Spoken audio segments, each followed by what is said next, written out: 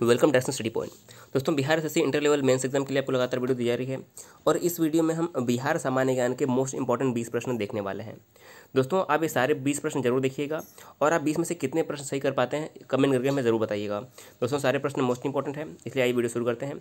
अगर आपने हमारे चैनल को अब तक भी सब्सक्राइब नहीं किया है तो ज़रूर सब्सक्राइब कर लीजिएगा, क्योंकि जो भी कोई भी अपडेट होती है एग्ज़ाम से रिलेटेड या फिर लगातार जो वीडियो है, वो आपको हमारे चैनल पर मिलती रहती है। तो आज का हमारा पहला प्रश्न है, बिहार के कुल भौगोलिक क्षेत्र का वन आच्छादित प्रतिशत लगभग कितना है? यानी कि बिहार का जो कुल भौगोलिक क्षेत्र है, उसमें कितना प्रतिशत क्षेत्रफल जो है वो वनों से घिरा हुआ है? यानी कि वन वाला जो प्रदेश क्षेत्र है बिहार में कितना है? पंद्रह प्रतिशत, सत्रह, उन्नीस या फिर तेईस? तो आप सभी लोग आंसर देंगे इस प्रश्न का। तो बिहार में कुल भौगोलिक क्षेत्र का जो वन आच्छादित प्रतिशत है, वो हमारा हो जाएगा ऑप्शन नंबर बी, सत्रह प्रतिशत। बिहार में जो कुल भौगोलिक क्षेत्र है, उसका सत्रह प्रतिशत जो हिस्सा है, वह वनों से ढका हुआ है। तो हमारा ऑप्शन नंबर बी इस प्रश्न का बिल्कुल करेक्ट आंसर हो जाएगा।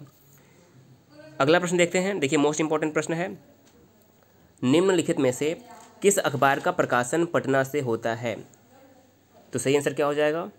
तो देखिए, बताना कि इन निम्नलिखित में से कौन सा ऐसा अखबार है जिसका प्रकाशन बिहार की राजधानी पटना से होता है? तो देखिए, जो डॉन यहाँ पर आप पहले देखिए, डॉन जो है, यह एक पाकिस्तान की समाचार पत्रिका है। तो ये हमारा कैंसिल हो गया।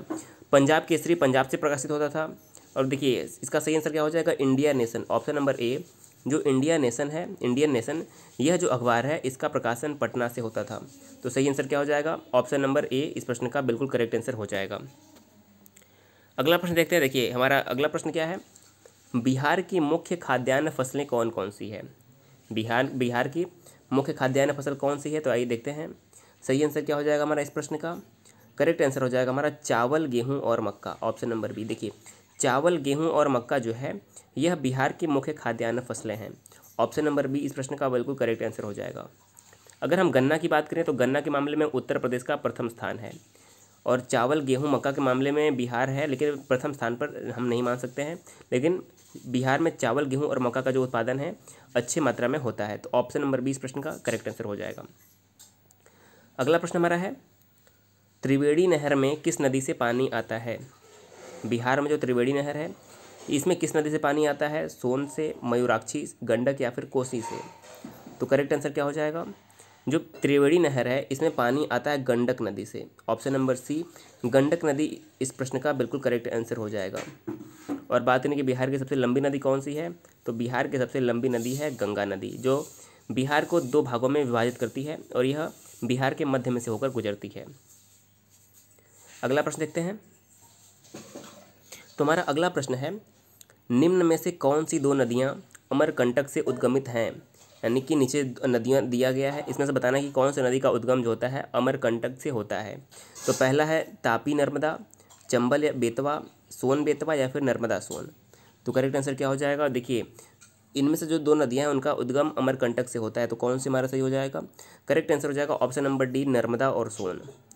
जो नर्मदा नदी है और जो सोन नदी है, इन दोनों नदियों का उद्गम अमरकंटक की पहाड़ियों से होता है। तो हमारा इस प्रश्न का ऑप्शन नंबर जो हमारा डी है, करेक्ट आंसर हो जाएगा।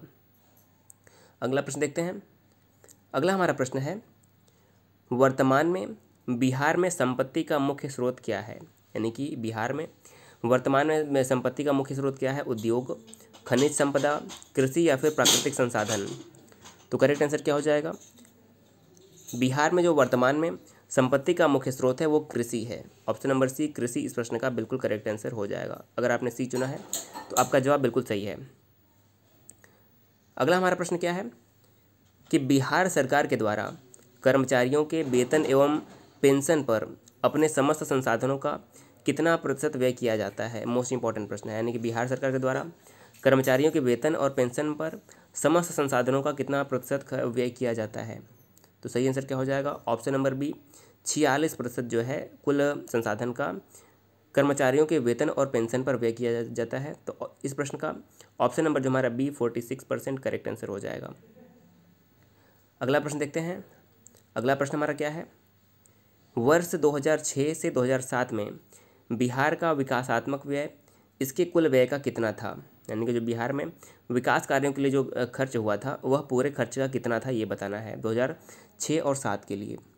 तो करेक्ट आंसर हो जाएगा लगभग साठ प्रतिशत। देखिए, जो बिहार में दो हज़ार सात, छः सात के वित्तीय वर्ष में जो कुल व्यय हुआ था, उसमें से लगभग साठ प्रतिशत जो व्यय था, वह विकासात्मक कार्य के लिए हुआ था। तो ऑप्शन नंबर जो हमारा ए है, बिल्कुल सही आंसर हो जाएगा इस प्रश्न का। अगला प्रश्न देखते हैं। देखिए, हमारा अगला प्रश्न क्या है? बिहार में पहली बार किनके द्वारा राज्य का आर्थिक सर्वेक्षण प्रस्तुत किया गया? बिहार में पहली बार किनके द्वारा राज्य का आर्थिक सर्वेक्षण प्रस्तुत किया गया? तो करेक्ट आंसर हो जाएगा option number B Sushil Modi. Sushil में, मोदी के द्वारा बिहार में पहली बार जो है आर्थिक सर्वेक्षण प्रस्तुत किया गया और इसमें जो मुख्यमंत्री थे वो नीतीश कुमार ही हैं तो ये भी याद रखना है और सुशील मोदी वर्तमान में भी सरकार में बने हुए हैं। अगला प्रश्न देखते हैं। अगला प्रश्न हमारा है, भारत में चालू मूल्यों पर प्रति व्यक्ति न्यूनतम आय वाला राज्य कौन सा है? भारत में चालू मूल्यों पर प्रति व्यक्ति न्यूनतम आय वाला राज्य कौन सा है? राजस्थान, गुजरात, बिहार या फिर उड़ीसा? तो करेक्ट आंसर हो जाएगा option number C Bihar. Bharat में जो चालू मूल्यों पर प्रति व्यक्ति न्यूनतम आय वाला राज्य है, वो हमारा बिहार है। तो ऑप्शन नंबर सी इस प्रश्न का बिल्कुल करेक्ट आंसर हो जाएगा। अगला प्रश्न देखते हैं। अगला हमारा प्रश्न है, नरेगा योजना का खर्च केंद्र और राज्य के बीच किस अनुपात में वहन किया जाता है? जो नरेगा है, उसके तहत जो खर्च है, केंद्र और राज्य के बीच किस अनुपात में वहन किया जाता है? तो करेक्ट आंसर हो जाएगा ऑप्शन नंबर ए नब्बे दस के अनुपात में वहन किया जाता है। ऑप्शन नंबर ए इस प्रश्न का बिल्कुल करेक्ट आंसर हो जाएगा। अगला हमारा प्रश्न क्या है?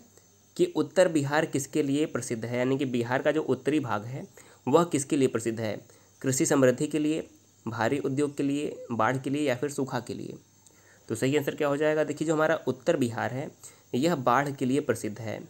अब बाढ़ आने के कई कारण हैं, क्योंकि जो उत्तर बिहार है तो नेपाल से निकलने वाली, यानी कि जो हिमालय की पर्वत से नेपाल के नेपाल से निकलने वाली जो अनेक नदियाँ हैं, वह उत्तर में बिहार में प्रवेश करती हैं, जिससे वर्षा ऋतु में बिहार के उत्तरी भाग में जो है बाढ़ की स्थिति देखने को मिलती है।